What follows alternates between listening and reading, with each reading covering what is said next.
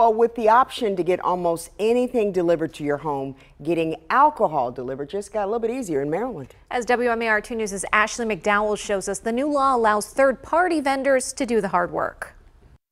Needing to wind down with an alcoholic beverage after a long day? Well, House Bill 808 will help with that.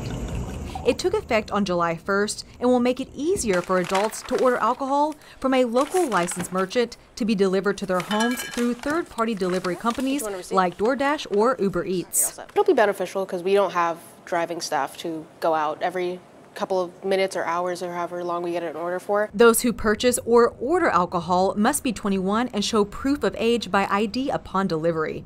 Rules that make sense aligning with the law, but leave those like Alexandra Dasilva, who is the manager at Uncorked Wine Plus Spirits in Towson, skeptical that there are ways around it. Concern that uh, we could see with this is that uh, college kids, those that are underage, can just get one person to kind of supply and get it delivered to wherever they're hanging out and then you know they just check that one ID. They don't know that there's eight other people kind of waiting and gonna drink. Those delivering must be 21 and obtain a delivery service permit that'll be $1,000 annually.